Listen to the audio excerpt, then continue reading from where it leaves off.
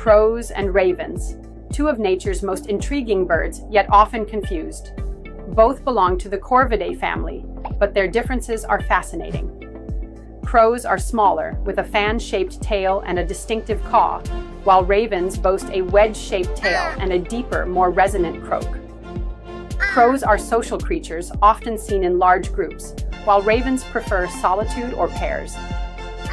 Did you know that ravens can even mimic human speech? Ah. Their intelligence is remarkable. They can solve complex puzzles and use tools, just like crows. Ah. In folklore, crows are often seen as harbingers of bad luck, while ravens are associated with wisdom and prophecy.